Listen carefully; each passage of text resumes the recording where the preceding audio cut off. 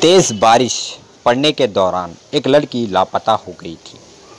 उस लड़की की लाश एक नाले में दस्तियाब हुई। तेज़ बारिश के दौरान इस लड़की की हुई मौत।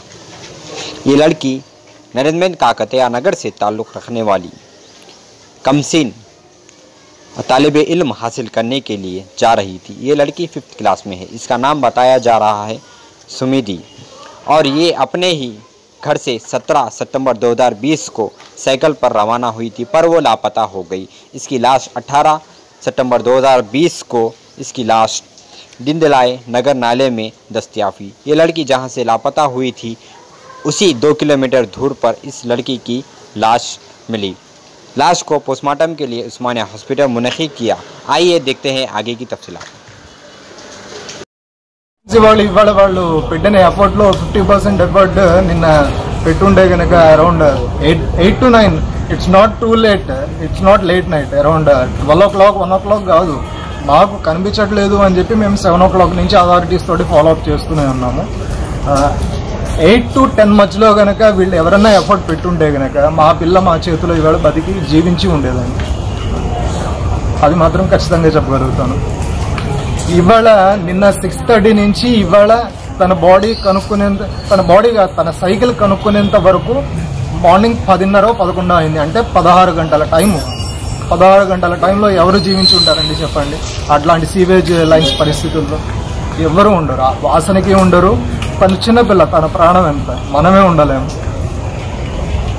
ఆబ్వియస్లీ జరగాల్సింది జరిగింది. నష్టపోవాల్సింది మేము నష్టపోయాము. పోవాల్సిన ప్రాణం పోయింది. మరి దీనికి బాధ్యత ఎవరు తీసుకుంటారు? మరి అధికారులే చెప్పాలి.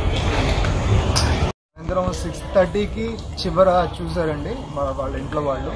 సిక్స్ థర్టీకి ఇంకా సైకిల్ ఒక రౌండ్ వేసి వస్తా అని చెప్పి వెళ్ళింది. తర్వాత మళ్ళీ రాలేదు. సిక్స్ ఫార్టీ ఫైవ్కి వాళ్ళమ్మ ఆఫీస్ నుంచి వచ్చి తను ఫ్రెష్ అప్ అయ్యి మళ్ళీ బయటకు వచ్చి చూసేపడికి లేదు. అంటే సిక్స్ థర్టీ నుంచి సిక్స్ ఫార్టీ ఫైవ్ మధ్యలో తను మిస్ అయింది. అది ఎట్లా మిస్ అయింది అనేది ఆ ఫిఫ్టీన్ మినిట్స్లో జరిగిన దీన్ని బట్టి ఉంది. ఇవాళ జరిగిన ఈ సీక్వెన్స్ ఆఫ్ ఈవెంట్స్ చూస్తే సైకిల్ మీద తను వెనకాల సందులోకి వెళ్ళింది. ఆ వెనకాల సందులో కొంచెం హైట్లో ఒక ఫుట్ ఓవర్ బ్రిడ్జ్ అంటే ఎక్కువ హైట్ కాదు బట్ పిల్లలకి కొంచెం హైట్లోనే ఉంటుంది. దాని పక్కనే సివేజ్ ఓపెన్ సివేజ్ లైన్ ఉంది మెయిన్ లైన్ చాలా వైడ్ మెయిన్ లైన్ డీప్ కూడా ఉంటుంది. Almost two to three feet deep ఉంటుంది. నిన్న వర్షాల వల్ల దానిలో వాటర్ ఫ్లో అయితే బాగా ఉంది. నిన్న మేము కూడా చూసాం వర్షం వల్ల వాటర్ ఫ్లో బాగా ఉంది. అండ్ రోడ్డు కూడా సీవేజ్ వాటర్ బయటకు వచ్చి రోడ్ అంతా ఖరాబ్ అయింది.